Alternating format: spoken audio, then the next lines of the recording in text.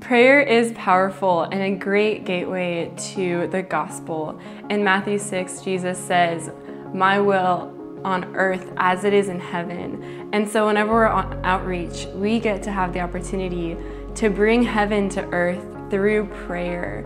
And so, something that we as Christians have is joy from answered prayer. And we get to go out, pray for people, and give them and show them this joy that comes from answered prayer. And sometimes we don't see that answered prayer directly in front of us, and that is okay. But we have the faith to know that we and the Holy Spirit co labored with Jesus, with this person and now it's going to change. We have the faith to know their situation is going to change. Um, so almost everyone wants prayer whenever you're out in outreach. Um, if the conversation seems to not be going anywhere, you can always ask them for prayer. And sometimes you can lead with that. Hey, the Lord highlighted you to me. Is there anything that I can pray for you for? Is there anything in your body that you need healing for? Is there anything with your family? Um, how's your sleep? There is always something that someone can receive prayer for. Um, we pray in faith and we watch it happen. And so we bring the faith. It's okay if they have little to no faith. We have the faith. We partner with the Holy Spirit and we can bring that to the table and show them that joy that I was talking about.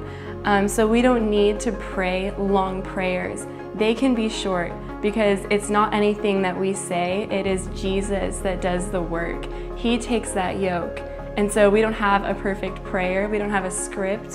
Whenever we go out, we pray as the Holy Spirit leads. And we pray with our eyes open because we want to see, Holy Spirit, how are you working in this person? Is anything that I said, did it break something? Are they starting to cry whenever you mentioned something? Um, and if they are, if you start to see a physical reaction, pray into that. Keep going into that one thing and until it breaks off. And you can see sometimes things break off of people, and that is incredible. Um, so we don't want to over pray to where um, we pray too long. Sometimes people who have never received prayer or aren't used to receiving prayer, they can kind of get restless. And we need to teach them that it is not our words, it is Jesus that is touching them in that moment. So we go out and we use um, our toolbox of prayer and we get to see lives change from our faith.